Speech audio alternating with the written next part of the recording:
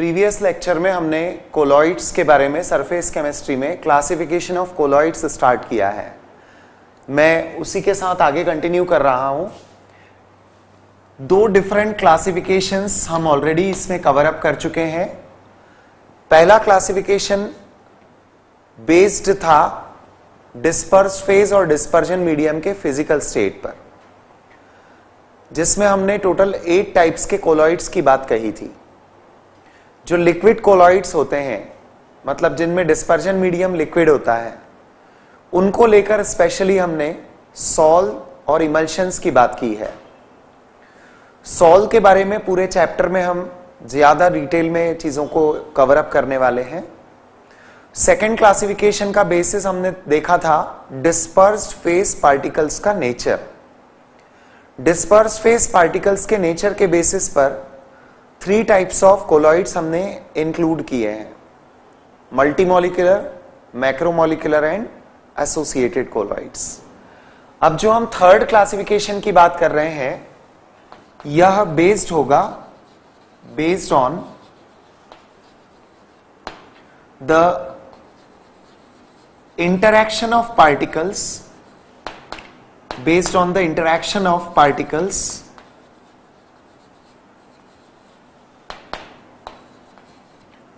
of dispersed phase and dispersion medium. जब disperse phase और dispersion medium के particles का इंटरेक्शन देखा जाता है, उनके बीच के अट्रैक्टिव फोर्सेस देखे जाते हैं तो हम इसको थर्ड कैटेगरी में क्लासिफाई कर रहे हैं और इसके अकॉर्डिंग जो तीन अलग अलग सॉरी जो दो अलग अलग इसकी कैटेगरीज है, इस थर्ड क्लासिफिकेशन में, वो होती है लायोफिलिक, और दूसरी होती है लायोफोबिक। क्लासिफिकेशन ऑफ़ कोलॉइड्स को आगे बढ़ाते हुए हम बात कर रहे हैं। दो अलग अलग क्लासिफिकेशंस ऑलरेडी हम प्रीवियस लेक्चर में कवर अप कर चुके हैं।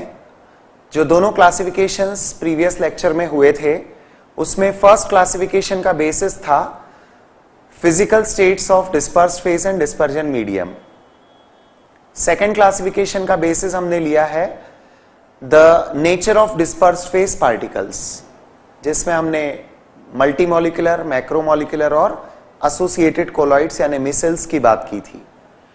तीसरे क्लासिफिकेशन को हम स्टार्ट कर रहे हैं based on the interaction of particles of disperse phase and dispersion medium disperse phase और डिस्पर्जन मीडियम इनके पार्टिकल्स आपस में कैसे अट्रैक्टेड हैं, क्या उनका इंटरेक्शन है, उसके अकॉर्डिंग कोलॉइड्स को दो कैटेगरीज में क्लासिफाई किया जाता है लायोफिलिक एंड लायोफोबिक नाम से ही समझ में आता है lyo stands for medium philic मतलब लविंग जब disperse phase particles dispersion medium loving होते हैं, या डिस्पर्जन मीडियम के साथ स्ट्रांगली अट्रैक्टेड होते हैं तो उसको आप लायोफिलिक की कैटेगरी में रखोगे। Once again name itself is suggesting lyo word का मतलब मीडियम फोबिक मतलब हेटिंग जब medium hating disperse phase particles हैं। Disperse phase particles dispersion medium से अट्रैक्शन में नहीं हो तो आप उसे लायोफोबिक कोलॉइड की कैटेगरी में रखते हैं। इनको हम एक कंपेरेटिव मैनर में ही देखेंगे। इसीलिए मैंने इस फॉर्मेट में लिखा है। अब आप इनके कंपैरिजन पर चलिए। जैसे सबसे पहला पॉइंट जो हेडिंग है, जिसके बारे में मैंने अभी आपको बताया, वही चीज़ इंक्लूड करें। Disperse phase particles are strongly attracted with are strongly attracted with dispersion medium dispersed phase particles are strongly attracted with dispersion medium either dispersed phase particles are not attracted are not attracted with dispersion medium. Dispersed phase particles are not attracted with dispersion medium एक point हमारे mind में click होना चाहिए इस बात को लेकर। ये एग्जिस्ट कर रहे हैं क्योंकि यहाँ पर disperse phase particles dispersion medium से अट्रैक्टेड है। पर ये क्यों एग्जिस्ट करते हैं? यहाँ disperse phase particles dispersion medium से अट्रैक्टेड नहीं है। इवन देन ये एग्जिस्ट तो करते हैं। Lyophobic colloids are known lyophobic colloids इसलिए नोन होते हैं क्योंकि इनके जो पार्टिकल्स होते हैं, उनकी सरफेस चार्ज होती है, जिसके कारण भले ही ये डिस्पर्जन मीडियम से अट्रैक्टेड ना हो, परंतु जो डिस्पर्स फेस पार्टिकल्स होते हैं, ये खुद आपस में एक दूसरे से रिपल्शन के कारण इसको स्टेबल बनाए रखते हैं। तो मैं ये कहूँगा कि लायोफिलिक को स्टेबलाइज क्या करता है? लायोफिलिक को स्टेबलाइज करता है डिस्पर्स फेस और डिस्पर्जन मीडियम का attraction. Lyophilic colloids are stabilize by, lyophilic colloids are stabilize by the attractive force of disperse phase and dispersion medium. Lyophobic colloids are stabilize by the charge on the surface of disperse phase particles. आप सोचिए ये disperse phase particles हैं suppose अब इनकी surface charge है. Assume किया हमने कि पॉजिटिवली चार्ज तो ये जो इनकी सरफेस का चार्ज होगा, ये इनको अलाउ ही नहीं करेगा to associate with one another इनको एक दूसरे को एसोसिएट ही नहीं होने देगा. दैट इज़ द सिचुएशन तो इनको स्टेबलाइज कौन कर रहा है? इनके सरफेस पर प्रेजेंट चार्ज या एक और लैंग्वेज में हमने कहा कि they are stabilized due to the repulsion between the particles of disperse phase एक जैसे चार्ज के कारण डिस्पर्स फेस पार्टिकल्स एक दूसरे को रिपेल करते हैं और ये उस साइज़ रेंज में बने रहते हैं। किस साइज़ रेंज में? One two hundred nanometer size range में। सो दिस वे ये एक और डिफरेंस ऐड होता है। Lyophilic stabilized by the attraction between disperse phase and dispersion medium lyophobic stabilized due to the charge on disperse phase particles और they are stabilized due to the repulsion of disperse phase particles right Now, lyophilic colloids can be directly prepared directly prepared by mixing the two components. दो components को directly मिलाकर ही आप lyophilic colloids बना सकते हैं disperse phase dispersion medium एक दूसरे के कांटेक्ट में लाइए, लायोफिलिक कोलॉइड तैयार हो जाएगा। परंतु लायोफोबिक कोलॉइड को बनाने के लिए आपको स्पेशल मेथड्स का यूज़ करना पड़ेगा। Prepared by special methods special methods are used for the preparation of lyophobic colloids methods कौन सी यूज़ होती है? वो मैं आपको टॉपिक में आगे बताऊँगा। We shall continue with this part only कि लायोफोबिक कोलॉइड्स को कैसे प्रिपेयर किया जाता है, इनकी मेथड्स ऑफ़ प्रिपरेशन क्या क्या है। Right now we proceed again lyophilic colloids as it is obvious ये अट्रैक्टिव फोर्सेस के कारण बना है, इसलिए ये ज़्यादा स्टेबल कैटेगरी में आता है। ये मोर स्टेबल कोलॉइड्स होते हैं, जबकि लायोफोबिक कोलॉइड्स ये लेस स्टेबल होते हैं। मतलब सेंसिटिव इनका कोलाइडल नेचर डिस्ट्रॉय करना बड़ा आसान है। इनका कोलॉइडल नेचर उतनी जल्दी खत्म नहीं हो पाता है, क्योंकि ये अपनी मर्ज़ी से बने हैं एक तरह से right disperse phase dispersion medium attract होकर ये बना हुआ है। तो ये मोर स्टेबल कैटेगरी होती है, ये लेस स्टेबल कैटेगरी होती है। एक बार आपने कोलॉइड को बनाया, बनाने की प्रोसेस डायरेक्ट इसको आप इजीली डिस्ट्रॉय नहीं कर सकते, इसका कोलाइडल नेचर खत्म नहीं कर सकते हैं। इस बात को लेकर यह कहा जाता है कि जो लायोफिलिक कोलॉइड होते हैं सपोज़ आपने इनके कंपोनेंट्स को अलग कर दिया, जैसे अल्ट्रा फिल्ट्रेशन वगैरह करके तो फिर से इनको बनाना बड़ा आसान होता है because they are directly prepared इस एस्पेक्ट को लेकर लायोफिलिक कोलॉइड्स को रिवर्सिबल कोलॉइड्स ट्रीट किया जाता है। रिवर्सिबल मतलब कंपोनेंट्स को अलग करने के बाद इनको फिर से बनाना बड़ा आसान है। एक बार इस केस में कंपोनेंट्स अलग हो गए तो इनको स्पेशल मेथड से ही प्रिपेयर किया जाता है, इसलिए इनकी कैटेगरी इरिवर्सिबल होती है। Irreversible I hope these many points are very simple to understand यहाँ तक कोई दिक्कत नहीं है। लायोफिलिक और लायोफोबिक के अब एक डिफरेंस को फिर मैं बता रहा हूँ, उस पर भी हम कॉन्सेंट्रेट करें। एक्चुअली आपको याद होगा, मैंने प्रीवियस लेक्चर में बताया था ट्रू सॉल्यूशंस कोलॉइड्स सस्पेंशंस ये तीन कैटेगरीज याद होंगी आपको। सस्पेंशंस हमने किसे कहा है? जिसमें पार्टिकल्स का साइज़ 1 नैनोमीटर टू 100 नैनोमीटर की रेंज से बड़ा हो जाता है। बेटर टू से 100 नैनोमीटर से बड़े पार्टिकल्स सस्पेंशन में होते हैं। सोचिए, यदि मैंने कोलॉइड को डिस्ट्रॉय किया डिस्ट्रॉय करना मतलब उसके पार्टिकल्स का साइज़ इंक्रीज कर देना तो क्या बनेगा? सस्पेंशन कोलॉइड्स को जब हम डिस्ट्रॉय करते हैं, उसके पार्टिकल्स इकट्ठा हो जाते हैं साइज़ 100 नैनोमीटर से बढ़ जाता है। इस तरह की कैटेगरी को आप सस्पेंशन बोलते हैं।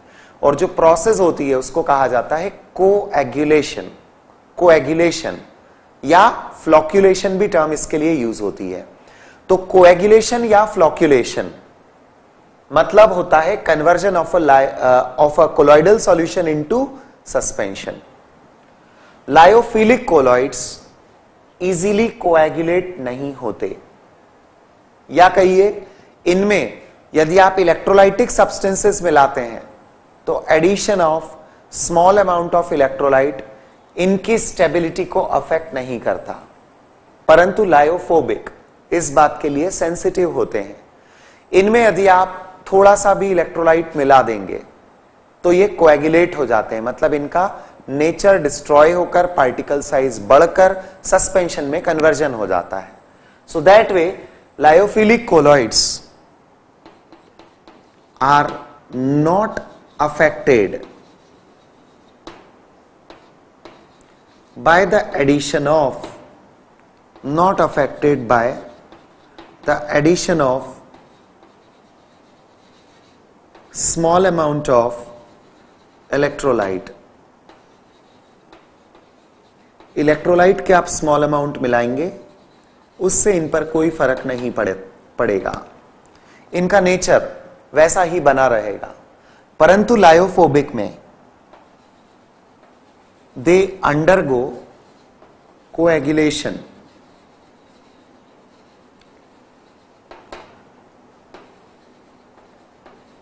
on addition of electrolyte. On addition of electrolyte. इनमें कोएगुलेशन हो जाता है। तो इस तरह से ये पॉइंट्स ऑफ़ डिफरेंसेस हैं लायोफिलिक और लायोफोबिक के लिए। लायोफिलिक के पार्टिकल्स की सरफेस चार्ज्ड हो भी सकती है, नहीं भी हो सकती है। परंतु लायोफोबिक के पार्टिकल्स की सरफेस पर हमेशा आपको एक डेफिनेट टाइप का चार्ज मिलेगा, इधर पॉजिटिव और नेगेटिव क्योंकि इनको तो एग्जिस्ट ही वो चार्ज करवाता है। डिस्पर्जन मीडियम में ये वन से हंड्रेड नैनोमीटर की रेंज में इसी बेसिस पर एग्जिस्ट कर पाते हैं, क्योंकि उनकी सरफेस पे चार्ज है। अब बारी आती है एग्जाम्पल्स की। लायोफिलिक कोलॉइड्स में एग्जाम्पल्स होते हैं colloidal solutions of colloidal solutions of starch gelatin glue etcetera आपको याद आ रहा होगा, यही एग्जाम्पल्स मैंने प्रीवियस क्लासिफिकेशन में प्रीवियस क्लासिफिकेशन में यही एग्जाम्पल्स हमने मैक्रोमोलिकुलर कोलॉइड्स के रखे थे। मैं अब तीन चीज़ों को रिलेट कर रहा हूँ, उन पर ध्यान देना तो आपको एग्जाम्पल्स भी याद रहेंगे और इजी होगा सब कुछ। मैक्रोमोलिकुलर उस क्लासिफिकेशन के हिसाब से पॉलीमेरिक सब्सटेंसेस मैक्रोमोलिकुलर उस क्लासिफिकेशन के हिसाब से, इस कैटेगरी में लायोफिलिक में आते हैं। लायोफिलिक में आने वाले, उधर वाले मैक्रोमोलिकुलर एग्ज़ाम्पल वाइज आप देखेंगे तो आपको समझ में आएगा, ये ऑर्गेनिक सब्सटेंसेस के कोलाइडल सॉल्यूशंस होते हैं। तीन चीज़ें रिलेट हो गई। जो ऑर्गेनिक पॉलीमर्स होते हैं, वो पार्टिकल नेचर के बेसिस पर मैक्रोमोलिकुलर कोलॉइड होते हैं। इंटरेक्शन के बेसिस पर लायोफिलिक होते हैं। ठीक वैसे ही लायोफोबिक में मैं एग्जाम्पल्स लिख रहा हूँ colloidal solutions of colloidal solutions of metals non metals metal hydroxides sulphides etcetera ये सब इस कैटेगरी में है। रिकॉल कर ले, जो अभी मैंने लायोफोबिक में एग्ज़ाम्पल रखे हैं ये उस प्रीवियस क्लासिफिकेशन में मल्टी मॉलिकुलर की कैटेगरी में आते हैं। और मल्टी मॉलिकुलर वाले यही एग्जाम्पल्स जो इधर लायोफोबिक में आ रहे हैं, ये इनऑर्गेनिक सब्सटेंसेस के कोलाइडल सॉल्यूशंस हैं। ये ऑर्गेनिक ये इनऑर्गेनिक आप याद रख सकते हैं रिलेट कर सकते हैं। ऑर्गेनिक वाले macromolecular lyophilic inorganic colloids multi और lyophobic all right classification part is now over now we have to continue with one more part in the topic ये है methods of preparation of colloids अब आप सोच सकते हैं lyophobic colloid के लिए स्पेशल मेथड्स अप्लाई करनी पड़ेगी। क्योंकि लायोफिलिक तो डायरेक्ट बन जाते हैं। So now the question is lyophobic colloid को कैसे प्रिपेयर किया जाए? So we shall now talk about the general methods of preparation of lyophobic colloids. Methods of preparation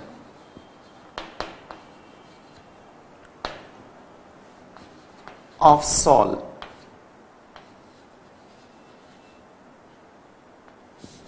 Let us write it lyophobic sol. Sol term याद आ गई आपको?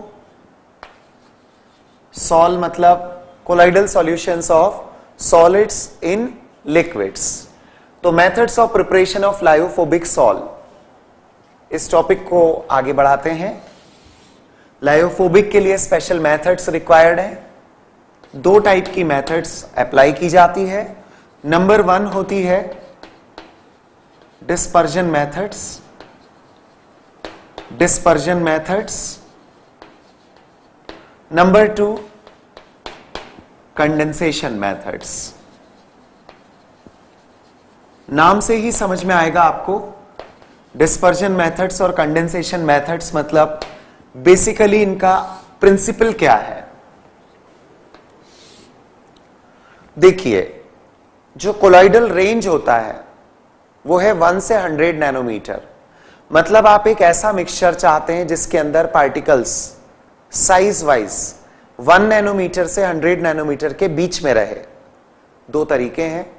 या तो आप वन नैनोमीटर से छोटे पार्टिकल्स को वन टू हंड्रेड नैनोमीटर की रेंज में ले आइए, या हंड्रेड नैनोमीटर से बड़े पार्टिकल्स को आप वन टू हंड्रेड नैनोमीटर की रेंज में स्मॉलर साइज़ के पार्टिकल्स में कन्वर्ट कर दीजिए। यही यहाँ पर है। डिस्पर्जन सोचिए टर्म क्या इंडिकेट कर रही है? डिस्पर्जन मतलब conversion of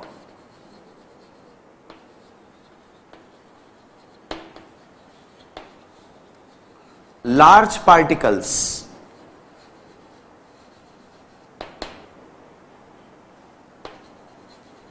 Into colloidal range.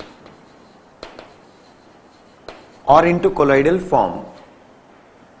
इधर हम लिखेंगे conversion of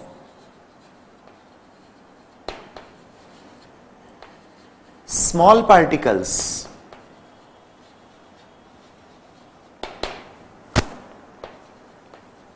into colloidal form. Into colloidal form. आइए रिलेट करें, इसमें फर्दर कौन कौन सी मेथड्स हैं? आई होप इस बात से ही क्लियर है आपको बिल्कुल। डिस्पर्जन मेथड मतलब conversion of large particles large से हमारा मतलब क्या है? 100 नैनोमीटर से पार्टिकल्स का साइज़ बड़ा होगा। उनको आप कोलाइडल रेंज में लाएँगे। एक्चुअली, इस तरह की जो मेथड्स होती है, डिस्पर्जन मेथड्स, इसमें मेनली फ़िज़िकल प्रोसेस अप्लाई होती हैं। तो there are certain physical process जो डिस्पर्जन में अप्लाई होती है। जैसे देर आर वेरियस मेथड्स एक होता है मैकेनिकल डिस्पर्जन मैकेनिकल डिस्पर्जन मैं आपको इनके ठीक सिर्फ़ एक आउटलाइन बताऊँगा, क्योंकि इसमें कोई केमिकल एस्पेक्ट तो जुड़ा हुआ नहीं है। मैकेनिकल डिस्पर्जन मतलब एक कोलॉइडल मिल होती है, जिसमें दो मेटेलिक प्लेट्स अपोजिट डायरेक्शन में रोटेट करती हैं। इसमें आप कोर्स पार्टिकल्स लार्ज पार्टिकल्स को रख देते हैं। कोलॉइडल मिल में लार्ज पार्टिकल्स स्मॉलर फॉर्म में कन्वर्ट होते हैं। मैकेनिकली प्रोसेस हो रहा है तो हमने इसको मैकेनिकल डिस्पर्जन कहा है। It's a very simple thing दूसरा होता है electrical dispersion electrical dispersion method को ब्रिडिक्स आर्क मेथड के नाम से जाना जाता है. Bredig's arc method commonly metals के कोलॉइड्स बनाना हो और मेटल आपके पास में है तो मेटल को एज एन इलेक्ट्रोड यूज़ करते हैं आर्क के फॉर्म में उसको वाटर बाथ में रखा जाता है और लार्ज पार्टिकल्स को कोलाइडल रेंज में कन्वर्ट कर दिया जाता है यूजिंग द इलेक्ट्रिकल एनर्जी हमें मैकेनिकल और इलेक्ट्रिकल दोनों पार्ट्स में एज सच जो प्रोसेस हो रहा है, उसमें कोई केमिकल चेंजेस वाली बात या किसी भी तरह का कुछ chemical part chemical aspect involve नहीं है तो इसके कहीं और इससे ज़्यादा डिटेल में नहीं जाना है। हाँ लेकिन याद रखिएगा मैकेनिकल और इलेक्ट्रिकल मेथड्स डिस्पर्जन से रिलेटेड है। क्योंकि अब आप कुछ मेथड से इसके बाद कंडेंसेशन से रिलेटेड भी देखेंगे राइट right? एक इसमें काफ़ी इंपॉर्टेंट मेथड होती है जिसको बोला जाता है पेप्टाइजेशन ये काफ़ी इंपॉर्टेंट है। ये टर्म को लेकर कभी कभी क्वेश्चंस आते हैं। पेप्टाइजेशन पेप्टाइजेशन वर्ड का मतलब होता है, इस प्रोसेस का मतलब होता है conversion of freshly prepared precipitate conversion of freshly prepared precipitate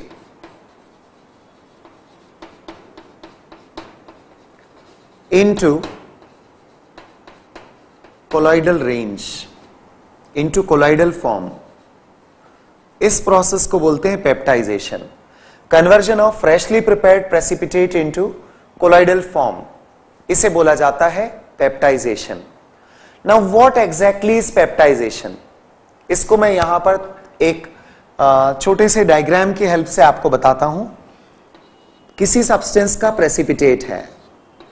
मतलब उसके पार्टिकल्स एक दूसरे के साथ एक्यूमुलेटेड है लाइक like दिस ये प्रेसिपिटेट का अपियरेंस बताया मैंने।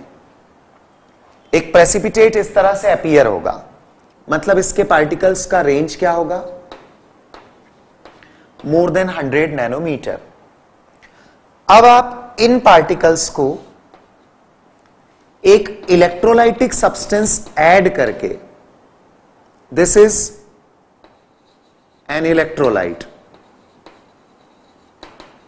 एक इलेक्ट्रोलाइटिक सब्सटेंस जब आप ऐड करते हो प्रेसिपिटेट में तो प्रेसिपिटेट की प्रॉपर्टी होती है कि वो दोनों में से किसी एक टाइप के आयन को एडसॉर्ब करने लगता है। Adsorption yes one more application electrolyte का एक पर्टिकुलर टाइप का आयन प्रेसिपिटेट की सरफेस पर एडसॉर्ब होने लगता है। प्रेसिपिटेट के पार्टिकल्स की सरफेस पर इलेक्ट्रोलाइटिक आयन एडसॉर्ब हो जाते हैं। इनके एडसॉर्प्शन के कारण सरफेस पे चार्ज आ जाता है। लाइक दिस इनकी सरफेस का चार्ज इनको एक दूसरे से पास नहीं आने देता, क्योंकि रिपल्शन होगा ना फ्रेंड्स इनकी चार्ज सरफेस के कारण जब ये एक दूसरे से दूर बने रहेंगे तो अब वो जो एक्यूमुलेशन था, वो ब्रेक होगा। अब इनकी जो साइज़ की रेंज आ जाएगी वो कोलाइडल रेंज होगी, मैंने लिखा है सॉल ये सॉल पार्टिकल्स में कन्वर्ट हो गए, क्योंकि अब इनका रेंज वन से हंड्रेड नैनोमीटर के बीच में होता है। पेप्टाइजेशन प्रोसेस इसी को हमने कहा है। Conversion of freshly prepared precipitate into colloidal form इसको आप बोलते हैं पेप्टाइजेशन बट कॉन्सेंट्रेट करिए कि क्या ये डायरेक्टली पॉसिबल हुआ? नहीं। आपने इसमें क्या मिलाया? एक इलेक्ट्रोलाइटिक सब्सटेंस जो इलेक्ट्रोलाइट आप इसमें ऐड कर रहे हैं, इसे कहा जाता है peptizing agent this is called as peptizing agent this peptizing agent is responsible for conversion question ये भी बन सकता है कि पेप्टाइजिंग एजेंट पेप्टाइजेशन के प्रोसेस में क्या होता है?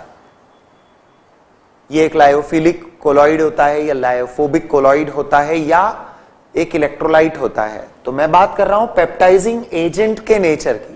पेप्टाइजिंग एजेंट क्या है? इलेक्ट्रोलाइट। ऑल राइट आगे चलकर आप टॉपिक में यह भी देखने वाले हैं कि इलेक्ट्रोलाइट, इसको स्टेबलाइज करने के लिए भी आपने ऐड किया, इसको बनाने के लिए भी ऐड किया और इलेक्ट्रोलाइटिक सब्सटेंसेस से ही आप इसको डिस्ट्रॉय भी कर सकेंगे। That is a different story उसको आगे टॉपिक में हम इंक्लूड करेंगे. बट राइट नाउ डिस्पर्जन की ये एक इंपॉर्टेंट मेथड है peptization just keep in mind इसके बाद चांस आती है कंडेंसेशन मेथड्स की. कंडेंसेशन मेथड्स में कुछ केमिकल मेथड्स होती हैं, जिनसे हम कोलॉइड्स को प्रिपेयर करते हैं. जैसे by oxidation by oxidation hydrogen sulphide gas यदि नाइट्रिक एसिड सॉल्यूशन में पास कर दी जाए। I repeat hydrogen sulphide gas nitric acid solution में पास कर दी जाए तो नाइट्रिक एसिड H2S को ऑक्सीडाइज करने लगेगा। खुद रिड्यूस होगा इनटू NO2 H2S का ऑक्सीडेशन मतलब सल्फ़र का बनना। नाइट्रिक एसिड का रिडक्शन मतलब NO2 का बनना। NO2 will be a gaseous product escape हो जाएगा. क्या बचेगा? Sulphur in water sulphur in water जो सॉल्यूशन बनेगा, इसमें सल्फ़र के पार्टिकल्स वन से हंड्रेड नैनोमीटर की रेंज में होंगे. और फ्रेंड्स ये कैसे पॉसिबल होगा कि सल्फ़र के पार्टिकल्स इसी रेंज में आएँगे? क्योंकि जैसे जैसे सल्फ़र बनने लगेगा, वो H2S को एब्सॉर्ब भी करने लगेगा. ये H2S सल्फ़र सॉलिड पर H2S गैस एब्सॉर्ब होकर सल्फाइड आयंस सल्फ़र के इन मॉलिक्यूल्स पर सरफेस पर आ जाएँगे। सल्फ़र के इन मॉलिक्यूल्स की सरफेस पर सल्फाइड आयंस होंगे। लाइक दिस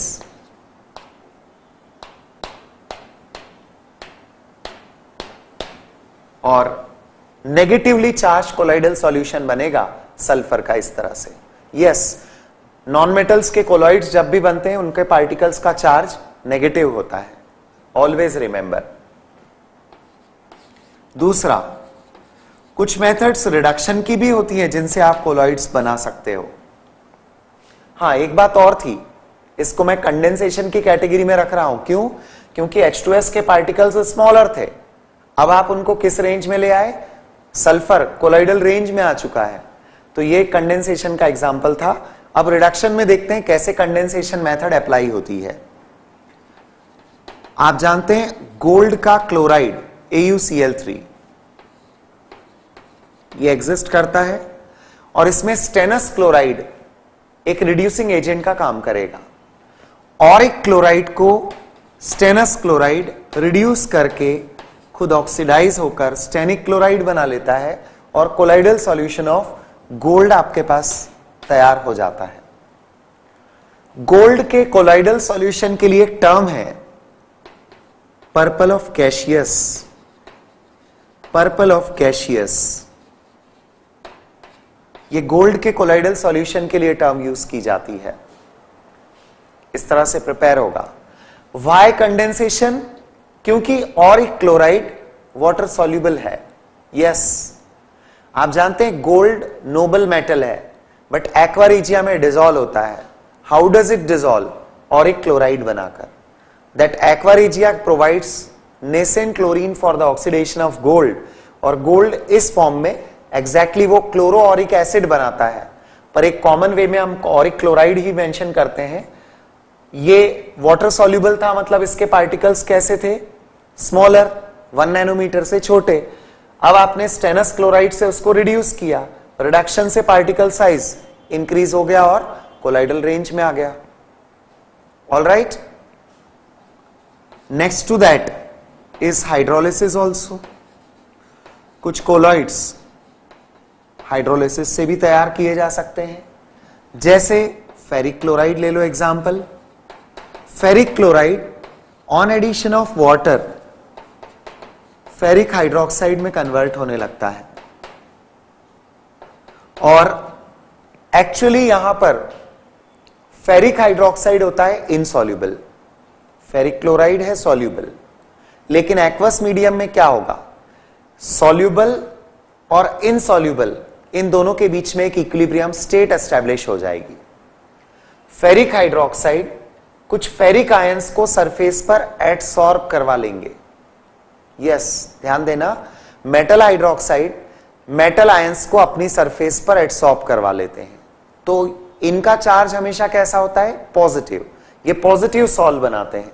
मेटल हाइड्रोक्साइड हमेशा पॉजिटिव सॉल्व बनाएँगे। ये जो फेरिक हाइड्रोक्साइड है, इसकी सरफेस पर ferric chloride as an electrolyte ferric ions इसकी सरफेस पर एडसॉर्ब हो जाते हैं और कोलाइडल पार्टिकल्स पॉजिटिवली चार्ज होते हैं। दीज आर द मेथड्स जिनसे आप कोलॉइड्स को प्रिपेयर करते हैं। ध्यान रहे फिर से लायोफिलिक तो डायरेक्ट बनते हैं। डिस्पर्स फ़ेज़ और डिस्पर्जन मीडियम मिलाया and you get the colloid lyophobic के लिए स्पेशल मेथड्स अप्लाई करनी है। मेन दो मेथड्स बताई मैंने। डिस्पर्जन जिसमें बड़े पार्टिकल्स को कोलाइडल रेंज में लाना था। कंडेंसेशन जिसमें स्मॉलर पार्टिकल्स को कोलाइडल रेंज में लाना था। Now we proceed with one more part in the topic एक और पार्ट कंटिन्यू करते हैं। जब ये कोलॉइड प्रिपेयर होंगे तो इनमें इंप्यूरिटीज होती हैं। Specially electrolytic substances in the form of impurity होते हैं। उन्हें हटाना होता है। तो इसके बाद हम टॉपिक की बात करेंगे।